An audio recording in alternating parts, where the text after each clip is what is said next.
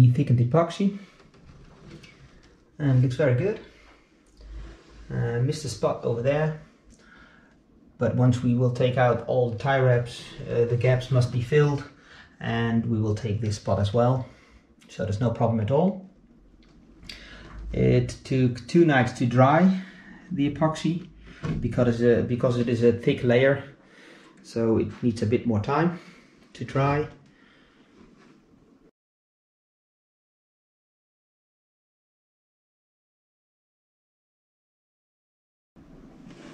In the middle, middle bulkhead and the bow.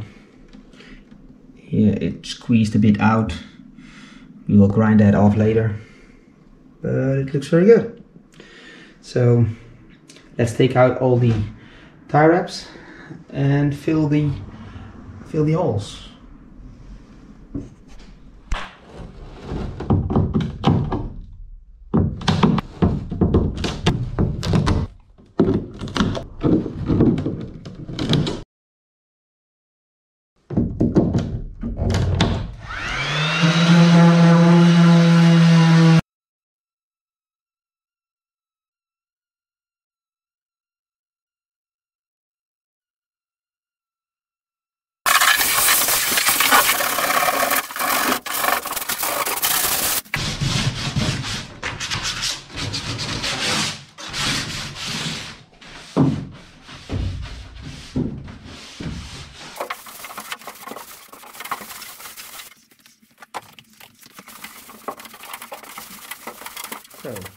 The grinding is done and the cleaning as well. I cleaned it with acetone. Um, I should have been more carefully putting on the epoxy in the corners, um, pay a bit more attention to it, use uh, maybe a little less um, epoxy and cleaned it uh, very well after uh, I put it um, I put it in because I had to grind a lot and grinding is okay but it's not my favorite job so uh, you should take extra time to put in the uh, the corners with epoxy so that you have to grind a little bit less than I did. Um, it looks okay and now we will start with the um, glass fiber tape and epoxy in the corners. So let's start with that. So first we will cut the glass fiber tape uh, I found on the internet the glass fiber tape of 10 centimeters. In the manual of B&B says uh, 7.5 centimeters, but I think uh, 10 centimeters will work as well. Uh, we will cut the glass fiber tape in a complete length, like this.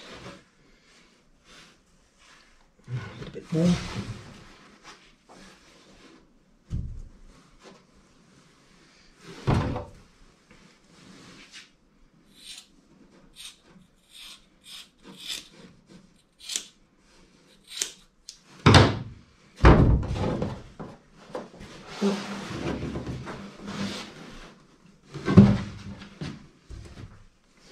And in the corner you can take one uh, piece uh, from top to bottom and push it in the uh, in the corner like this. Um, the glass fiber tape is flexible enough to take the corner and still looks very smooth. So you can take a complete length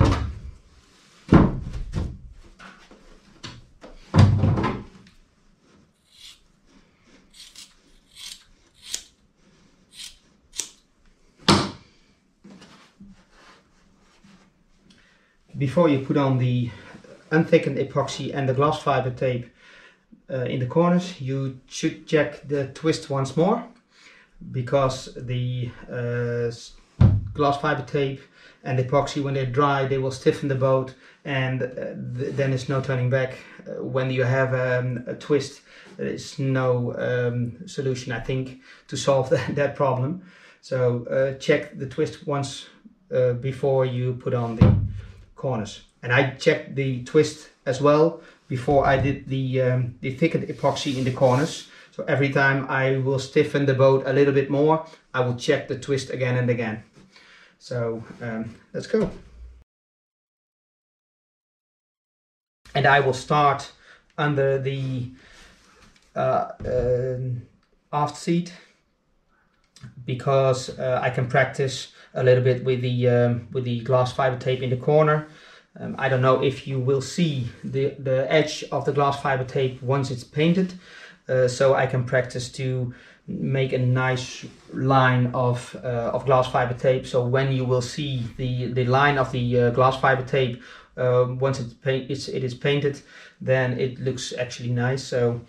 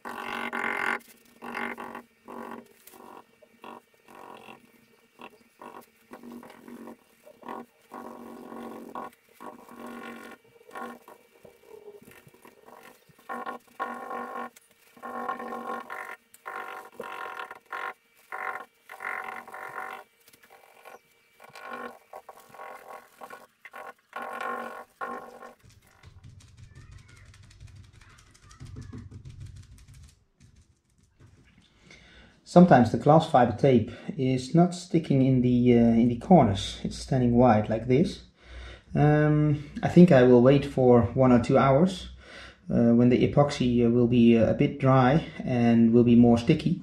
Then I think I can push the um, the glass fiber tape in the into the corner. And if not I will cut the glass fiber tape uh, here and um, push it with uh, epoxy again into the corner. I want to show you how I did the uh, bulkhead with um, glass tape because it will go around the corner and you have some left over here and I will cut it in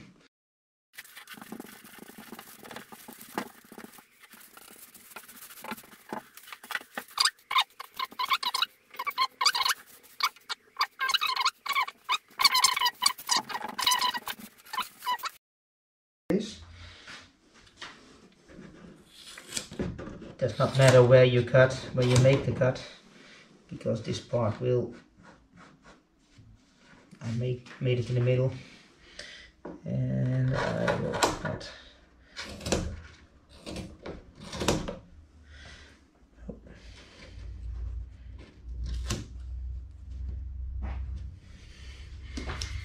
So.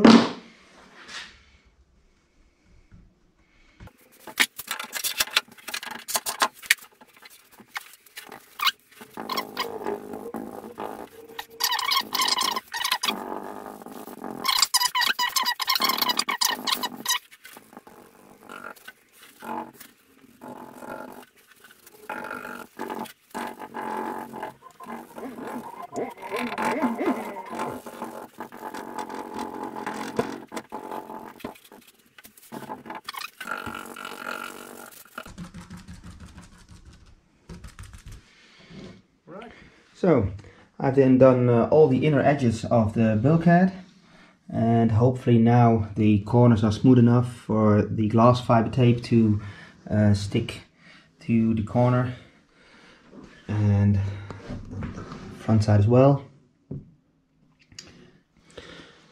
I've done the um, glass fiber tape yesterday evening and it is still sticky so um, we can use this for a second layer.